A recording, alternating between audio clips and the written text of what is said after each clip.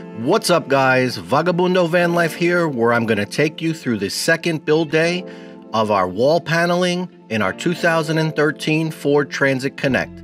I'll show you how we finished the wall panelings along with our custom cabinet doors for our His and Hers closet and I'm going to show you a custom sliding pull-out drawer that we made to hold a 2020 folding Rad Mini e-bike. I'll show you how we used our table saw to cut down all of our plywood for our pull-out drawers, along with installing this pull-out tray for a full-size standing Avanti refrigerator. So stick around for the full video.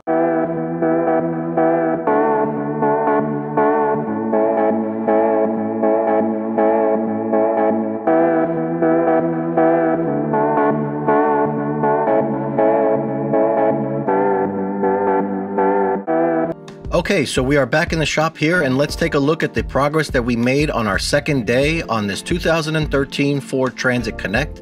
The majority of our wood panels are done here and if you want to see how we cut some of them, you can check out a video here in the top right hand corner. So these rear panels we are going to save towards the end because we need to take some measurements off of the interior and they are going to get finished in the same wood paneling as the interior of the van.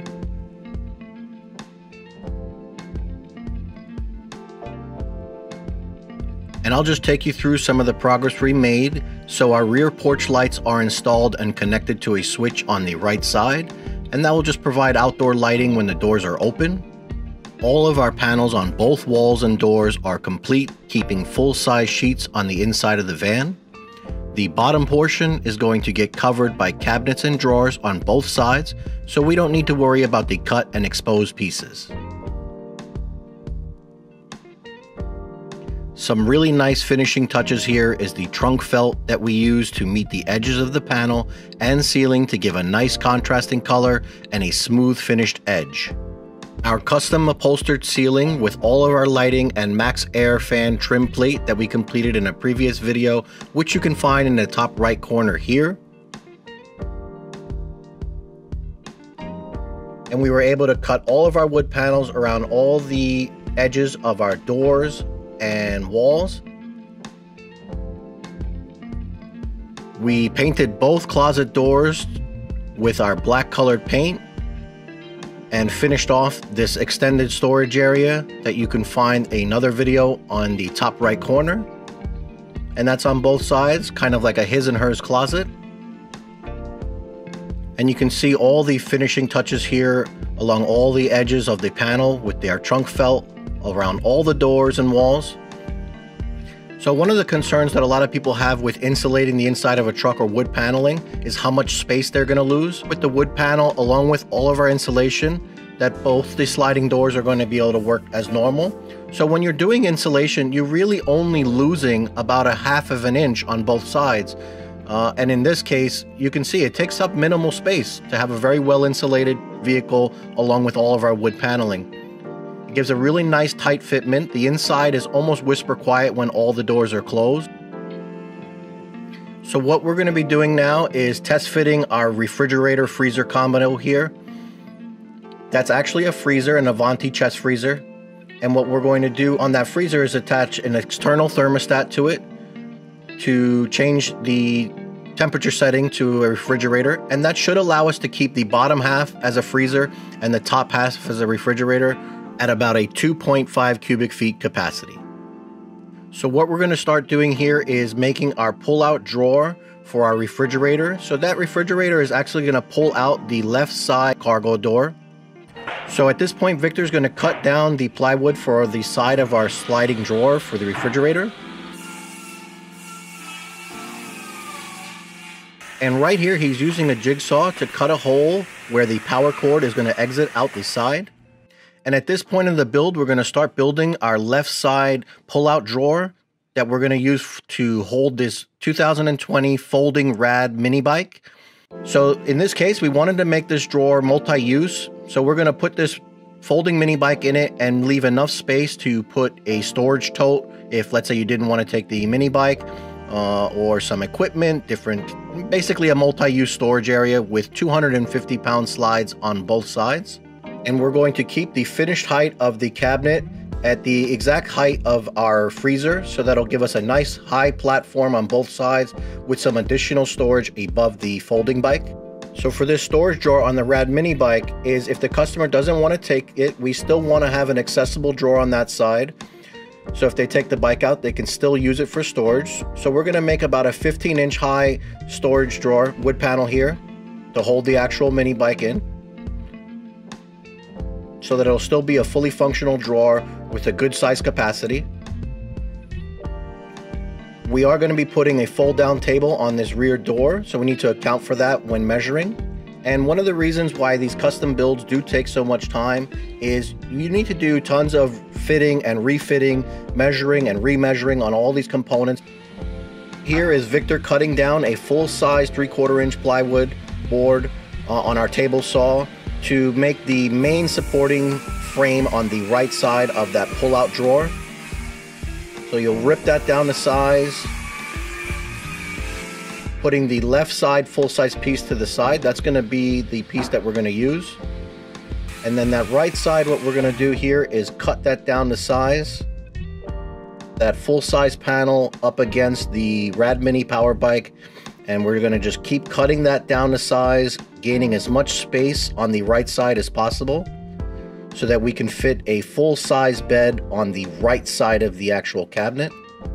The Rad Mini folding bike fits in that small space along with our fridge freezer and this full-size sliding drawer is beginning to take shape. Actual drawer being assembled so we need to cut down all the plywood to size. What we wanted to do was have it about a 15 inch high drawer. So we're gonna cut that plywood on our table saw again. Careful adjustments being made here. Just taking off a small amount on the right side, give us the perfect distance.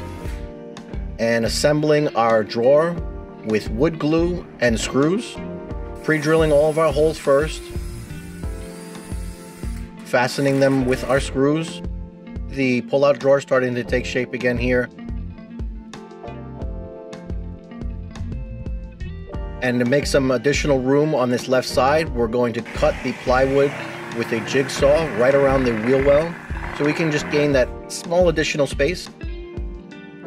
We're just going to keep cutting this back so that buys us any amount of space we can have in this small Ford Transit Connect. And with all the adjustments that we made on this pull-out cabinet for the Rad Mini bike, is just to gain us a little bit additional space on the right side. So right now we gained about a two or three inches on the right side so that we can fit as much sleeping area. That way we can fit two people comfortably on the right side. And what you'll see is the additional storage space above the bike. So this will be kind of like a multi-use area. You can cook on it. You can do some basic uh, task on top of it, like a countertop. It'll flip open and have some storage. And the cool thing about it also is we're going to put a platform bed on that top side where you could, if you wanted to, sleep another person on top of that section, and they'll be about 14 or 15 inches from the ceiling. So just enough to fit a person. It is going to be tight to the ceiling, and we know that. And with the refrigerator draw here, what we wanted to be able to do is put that on a 24 inch slide so we can slide it completely out the driver's side cargo door. So you can load it from the outside, or when you slide it back in, have enough room where you can retrieve about half of the items on the inside. So since this truck is a demo unit that we're going to use to take around and show people our camper van conversions, we love to demonstrate how you can use these chest style freezers to have both a refrigerator and freezer uh, and in this case with a pull-out drawer. So with Ford Transit Connects, we really want to focus on living out of the van, not living so much inside the van because it's so small. Uh, but we could change this to a complete storage cabinet if you wanted, if you didn't want a fridge in that case. And you really can see the benefit of these chest style freezers is it's an Energy Star rated unit. It is a chest freezer, right? So we're going to swap that over to a refrigerator, 2.5 cubic feet. It's about $180, so very affordable. So if the item was to go down and break on you, I would just swap this out. I wouldn't even be concerned about repairing it. Your uh, yearly kilowatt hours is very low. This is a very low draw item, so once it reaches temperature, it's going to stay at that temperature for a very long time. You'll be able to see the inside of this unit, how it's so heavily insulated.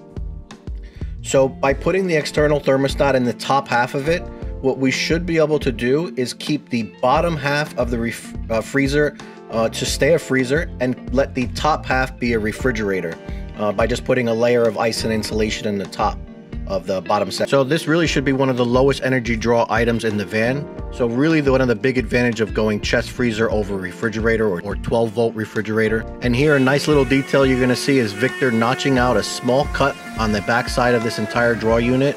And that's just gonna be so that it sits flush against the trim on the left side. So just using a router here to cut that small amount of uh, material away so that it fits perfectly, really taking advantage of every small space in this van. So we put the pull-out drawer all the way back into the van. So this is about a 40 inch pull-out drawer with heavy duty 250 pound slides on each side to support the 75 pound e-bike and any gear that you want to put in there and making sure that we left enough space on the right side as I said before. So uh, that's all the space that we were able to gain here. And that's it for day two. Thank you so much for watching. We would love for you to like this video, hit the notification bell, subscribe to our channel, and we'll see you on the next video.